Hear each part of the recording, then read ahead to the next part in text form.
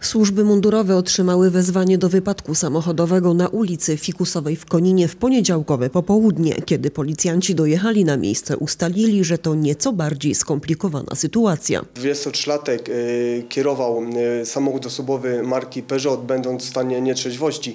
Badanie wykazało y, ponad 2 promile w wydychanym powietrzu.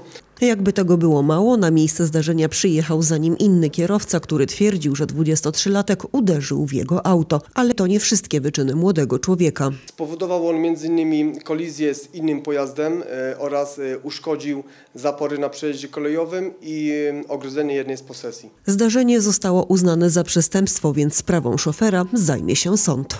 Mężczyźnie grozi do dwóch lat pozbawienia wolności.